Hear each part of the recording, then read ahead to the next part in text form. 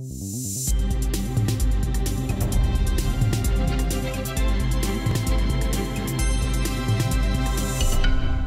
Bonsoir, le temps n'était vraiment pas fameux ce vendredi, beaucoup de nuages, quelques pluies, mais une belle amélioration se profile pour notre début de week-end, avec certes les résidus humides pour la matinée de samedi vers Midi-Pyrénées, mais globalement sur les autres régions, le soleil va prendre l'avantage, nous aurons quand même par endroits quelques grisailles, notamment dans le centre du pays ou encore vers le Grand Est, et pour l'après-midi, un temps lumineux quasiment partout, certes encore pas mal de nuages vers les Pyrénées et vers la Corse, mais dans le restant de la moitié sud, un soleil généreux et pour les régions du nord, une alternance entre passages nuageux et belles éclaircies est attendue. Notez tout au long de la journée le Mistral et la Tramontane dans leur domaine. Les températures de ce samedi matin sont en baisse, retour des gelées dans le nord et le centre du pays notamment, et pour l'après-midi des valeurs qui évolueront entre 6 degrés pour Luxembourg et 16 pour Perpignan, comptez sur 7 degrés à Metz, 9 pour Lyon, 10 pour Angers, 12 à Bordeaux et 14 à Marseille. Dimanche, ça va nettement se gâter de nouveau sur les régions de la moitié nord avec un temps pluvieux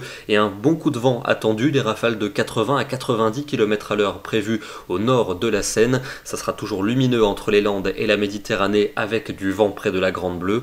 Les températures évolueront entre 7 et 15 degrés pour l'après-midi. Elles seront quand même au-dessus des normales de saison. Une amélioration à nouveau prévue pour la journée de lundi avec un nouveau renforcement de l'anticyclone. Le soleil sera bien présent dans le nord, le centre et l'est jusqu'en Méditerranée, mais au prix d'une nouvelle accentuation euh, du Mistral et de la Tramontane. Beaucoup de nuages en revanche pour les régions euh, bordant l'océan avec peut-être quelques gouttes.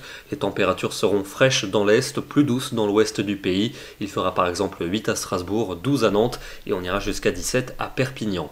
La suite avec deux journées très anticycloniques pour mardi et pour mercredi et les hautes pressions vont nous apporter du soleil quasiment partout, sans doute encore des nuages pour les régions euh, du nord entre la Bretagne et la Belgique, quelques-uns qui remonteront mercredi et sur le Languedoc, les après-midi seront doux avec un ressenti parfois printanier, alors que le matin il faudra compter sur quelques gelées.